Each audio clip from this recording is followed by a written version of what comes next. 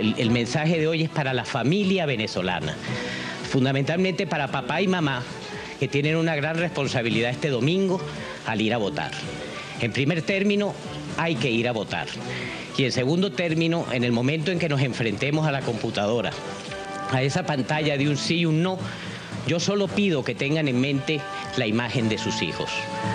Porque es a través de la imagen de sus hijos que podrán tener una reflexión profunda de saber dónde y cómo quieren que vivan sus hijos.